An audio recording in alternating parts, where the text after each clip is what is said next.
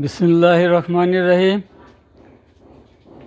ভারত আদর্শ উচ্চ বিদ্যালয়ের পেজ অনলাইনের ক্লাসের পক্ষ থেকে আমি মোহাম্মদ আবু তালেব, সহকারী শিক্ষক, গণিত, নবম শ্রেণির, নবম ও দশম শ্রেণির শিক্ষার্থীদেরকে আন্তরিক শুভেচ্ছা। নবম ও দশম শ্রেণির শিক্ষার্থীদের আজকে আমি ক্লাস নিয়ে আসছি সাধারণ গণিত এর তেরো অধ্যায় থেকে সসীম দ্বারা আমি আলোচনা করব। তোমরা এখন খাতা কলম নিয়ে বসো। আমি বোর্ডে লিখেছি নবম ও দশম শ্রেণি সাধারণ গণিত তেরো অধ্যায়। তাহলে তেরো অধ্যায়ের সসীম দ্বারা আমি বোর্ডে লিখছি, যা আমার আজকে আলোচনা হবে।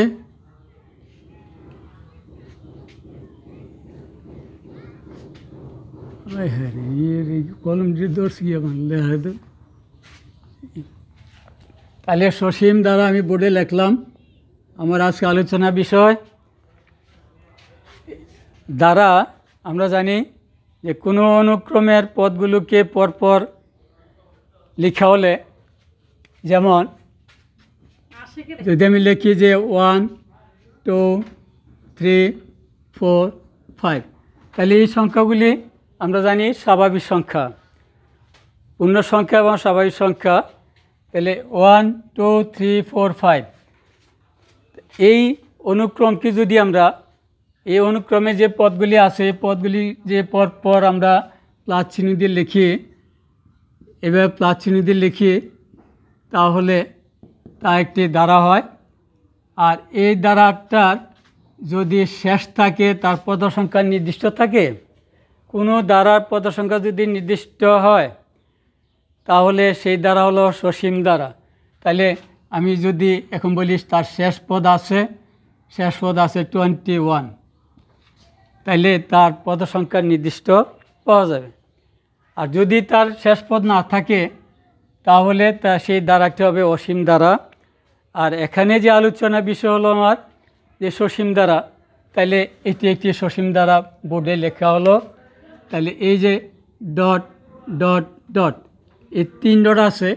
এই তিন ডটের তিনটি নাম আছে তাও আমরা জানি।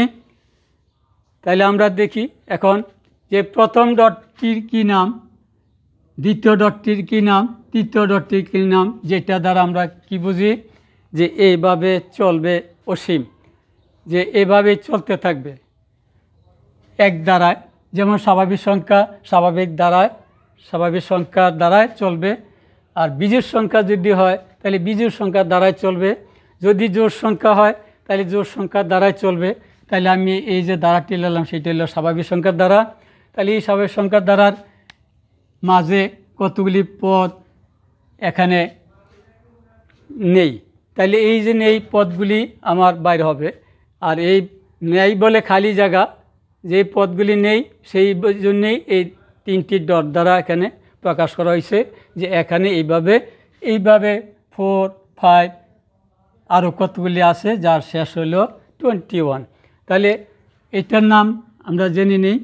এটার নাম হলো অ্যান্ড অ্যান্ড তার বাংলা আমরা জানি এবং। তারপর এটির নাম হলো সো। এটির নাম হলো on. And so on. And এবং। এইভাবে, ফোর, ফাইভ, এইভাবে। যার বলা হয়েছে, এইভাবে আরও এমনি বসতে পারে six seven, eight, nine, ten এইভাবে। সো, যেটাকে আমরা বলি, সো হইল এমনি। ফোর, ফাইভ পরে যা আসছে সেইভাবে, সেই সংখ্যা হিসাবে এইভাবে, অন উপরে।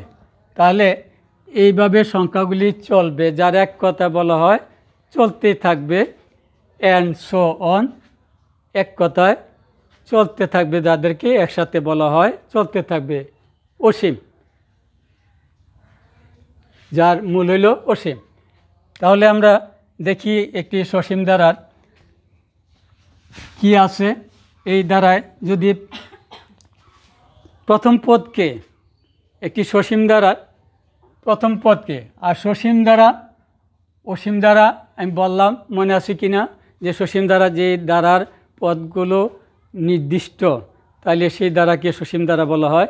তাহলে আমরা একটা এখন দ্বারা প্রকাশ করব। যেই দ্বারার পদ সংখ্যা আমরা যদি বলি প্রথম পদ,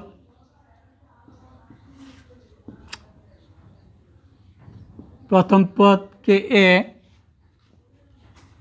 সাধারণ অন্তর, হুম? ডি, সাধারণত ডি পদ সংখ্যা এন এবং এন সংখ্যক পদের সমষ্টি, এন সংখ্যক পদের সমষ্টি এস, এন।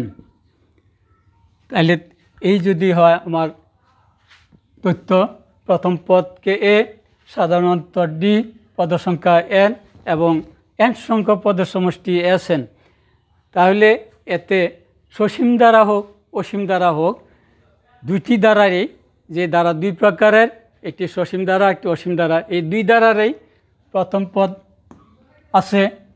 আর কোনো দ্বারার যে কোনো পদ এবং তার পূর্ববর্তী পদের, তার পূর্ববর্তী পদের কোনো পদ, যে কোনো দ্বারার কোনো দ্বারার যে কোনো পদ ও তার পূর্ববর্তী পদের যে পার্থক্য সবসময় এক হয় বা সমান হয়, তাহলে সেই দ্বারা হয় সমান্তর দ্বারা তাহলে আমি এখন সমান্তর দ্বারার যে পদ বাইর করব আমরা, সেই ক্ষেত্রে আমরা দেখব যে পদ কি করে বাইর হয় একটি দ্বারার পদ আমি কি করে বাইর করব। সেইটির জন্য একটা সূত্র আছে, যা আমরা বলি যে সমান্তর দ্বারার ক্ষেত্রে সমান্তর দ্বারার এনতম পদ এনতম পদ সূত্র হলো a plus n minus one into d তাহলে এলো আমি কোন একটি দ্বারার আমি পদ বাইট করব। একটি দ্বারা যদি বলা হয় যে আমি অষ্টম পদ বাইট করব বা দশম পদ বাইট করব বা পনেরোতম পদ বাইট করব, আমি কি করে বাইট করব তাইলে এই সূত্রে আমি বাইট করব। তাইলে সূত্র থেকে আমি বলা হলো যে আমি তার পনেরোতম পদ বাইট করব। একটি দ্বারা আমি আগে লিখে নিই বোর্ডে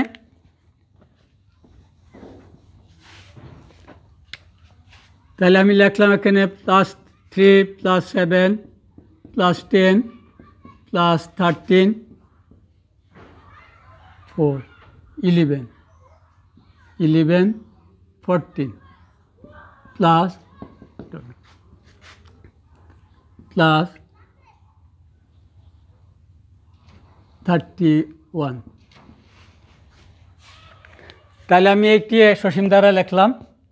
তোমরা দেখো plus three plus seven plus eleven তাহলে এই দুইটির যদি আমরা দেখি তাদের পার্থক্য কত এই তিনটি পদ থেকে, তাইলে আমি বুঝব যে এটা কোন দ্বারা। তাহলে সেভেন হইতে থ্রি বিয়োগ হলে, অর্থাৎ সেভেন ও থ্রি পার্থক্য হলো প্লাস ফোর আবার ইলেভেন ও সেভেন ইলেভেন থেকে সেভেন বিয়োগ হলে অর্থাৎ ইলেভেন ও সেভেনের পার্থক্য তাও ফোর তাহলে নিশ্চিত যে এটি একটি সমান্তর দ্বারা এবং সসীম দ্বারা। তার শেষ আছে, এই দ্বারাটি শেষ হলো থার্টি ওয়ানে যাইয়া। তাহলে এই দ্বারাটি একটি সসীম দ্বারা। তাহলে তার প্রথম পদ এ তাহলে আমি লেখো প্রথম পদ তার একটি three a equal to three সাধারণত ডি আমি আগে বলছি যে প্রথম পদ যে কোনো দ্বারা প্রথম পদ এ আর সাধারণত কে ডি দ্বারা প্রকাশ করা হলে, তাহলে ডি ইকুয়াল টু হলো seven minus three equal to plus four তাইলে এটি একটি সমান্তর দ্বারা। তাহলে এই সমান্তর দ্বারার এনতম পদের সূত্র আমি বোর্ডে লিখে রাখছি। দেখো a plus n minus one into d তাইলে এই সমান্তর দ্বারা সূত্র থেকে আমি এখন বাইর করব, এই দ্বারাটির দশম পদ কত? তাহলে দেখি তার দশম পদ কত হয়। তাহলে সূত্র এখানে বোর্ডে লেখা আছে। তাহলে সুতরাং সমান্তর দ্বারার এনের জায়গায় আমি এর দশম লিখব টেনতম পদ। তাহলে এনের জায়গায় টেন লাগলাম অর্থাৎ পদ সংখ্যা এন যেখানে বলা আছে। তাহলে দশম পদ যখন বলা হয়েছে, তাহলে আমি এনের জায়গায় দশ ব্যবহার, টেন ব্যবহার করব। তাহলে টেনতম পদ ইকুয়াল টু এ প্লাস এই যে এনের জায়গায় টেন বসবে minus one into d equal to a plus nine d তাহলে এর মান কত পাইলাম আমি, প্রথম পদ এ হলো three plus three plus nine into d পাইলাম কত? প্লাস ফোর তাহলে নাইন ইন্টু ফোর তাহলে থ্রি প্লাস চার নং ছত্রিশ থার্টি সিক্স তাহলে plus three plus thirty six equal to thirty nine তাহলে এই দ্বারাটির দশম পদ কত? থার্টি নাইন পেলাম।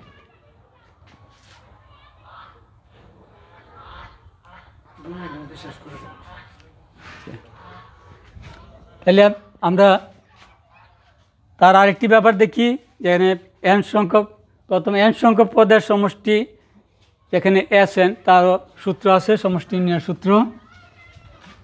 তাহলে আমরা লিখি, সমান্ত দ্বারার এন সংখ্যক পদের সমষ্টি।